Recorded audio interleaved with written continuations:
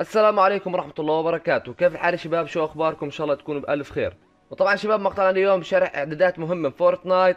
وقبل بداية مقطعنا يا شباب أتمنى من كل شخص فيكم شوف المقطع ومش يشترك بالقناة. أتمنى أن يشترك وفعل زر الجرس وربي يسعدكم على كل شيء. ويلا نبلش مقطعنا.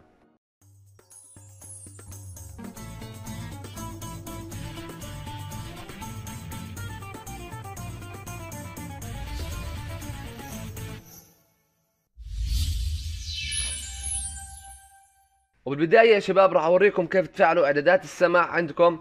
طبعا هذه الإعدادات كانت موجودة على الجوال مثل ما تشوفوا كيف آثار الأقدام والخطوات. طبعا شباب بالأول ما كنت راح أنزلها بالقناة لأني كنت مفكر ناس كثير يعرفوها ومفعلينها.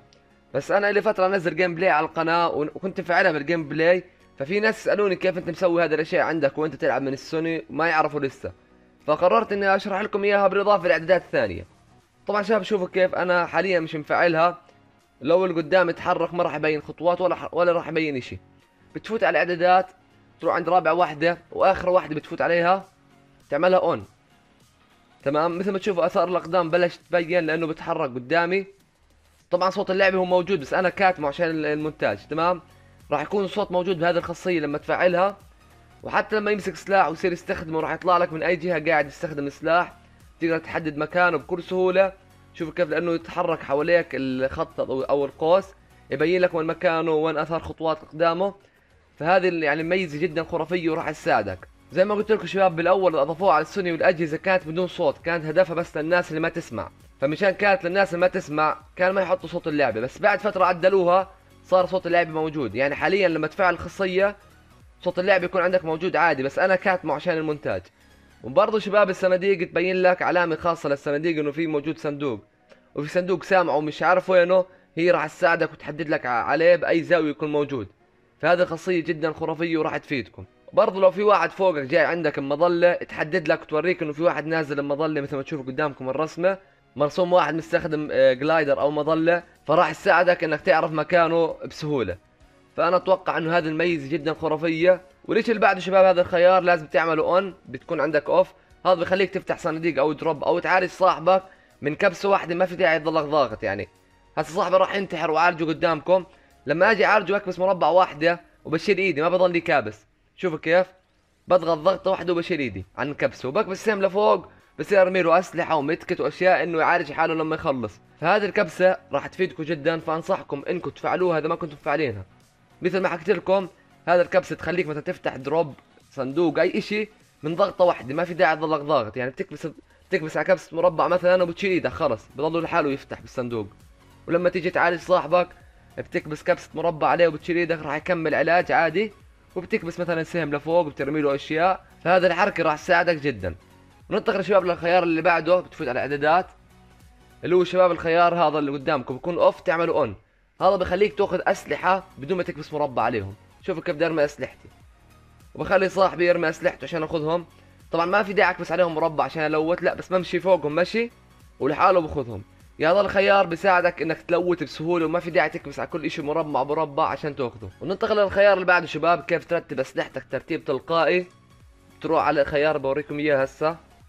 تنزل تحت تحت آخر شيء. هذا الخيار شباب تعمله اون إذا كان عندك اوف وشوفوا كيف يا شباب هسه مثلا في أسلحة وفي جقدق. راح يأخذ الجقدق على اليمين ويخلي الأسلحة على اليسار مثل ما تشوفوا قدامكم جقجق على اليمين والأسلحة حطهم بالشمال.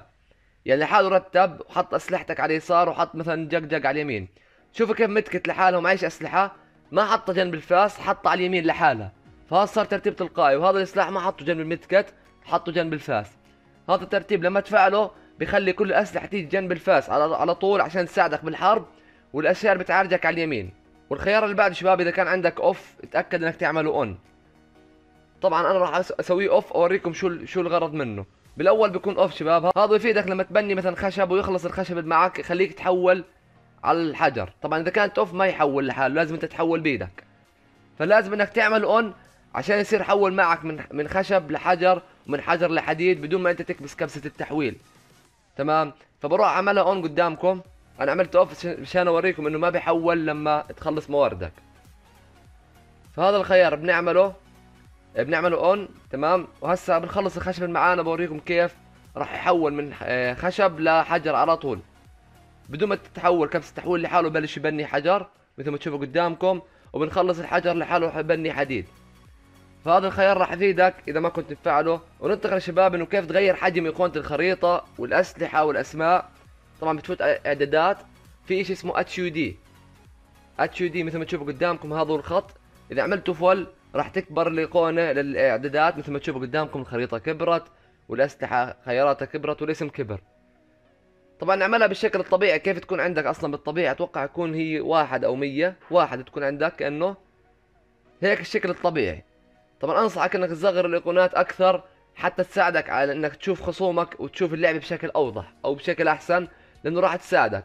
فبتروح عندها طبعا شباب يعني ممكن لو نصغرها على الاخير اوريكم كيف بيصير شكلها. مثلا عملناها بونت 42 هيك صغرناها كثير وما لها داعي. فأحسن إشي إنك تصغرها تعملها بالثمانينات. point 80 point 81 فأنا بح... أنا عملتها point 83 بحسها مناسبة جدا. شوفوا كيف الاسم صغير والأسلحة مرتبات ترتيب. يعني هيك الشاشة عندي بالنسبة لي أشوفها واضحة وأحسن وإنه الشاشة مش معبية أشياء إنه ما أقدر أشوف. وكيف تبين ال ping إذا كان مختفي عندك؟ بتروح على الاعدادات تكبس R2 عند HUD هذه بتكون off تعملها on بحاله إذا ال ping مش مبين. وتأكد إنك تعمل كل هذه القائمة on زي ما تشوف هاي ال ping راح يبين عندك هون. والشيء اللي بعده شباب إنه كيف تبين عندك كم frame عندك. زي ما تشوف أنا موجود عندي 60 frame موجود جنب الخريطة. كيف تطلع هذا القائمة؟ عند الإعدادات.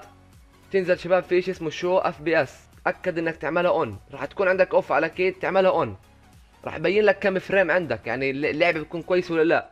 زي ما تشوف شباب جنب الخريطة مكتوب كم frame عندي. هو أفضل شيء يكون 60 حسب شاشتك وحسب نوع جهازك. أتوقع في ناس ممكن يكون عندهم 30 وبس شباب يكون وصلنا لنهاية مقطعنا فأتمنى أنكم تكونوا استفدتوا من المقطع وأتمنى من كل شخص فيكم استفاد من المقطع إنه ينشره بكل مكان حتى الكل يستفيد. وبس شباب أتمنى إذا عجبكم المقطع لا تنسون من like والاشتراك وتفعيل زر الجرس حتى توصلكم اشعارات المقاطع اللي بنزلها أول بأول. وربي يسعدكم مع كل شيء. وهسه شباب بترككم مقطع gameplay بسيط ويلا مشاهدة ممتعة.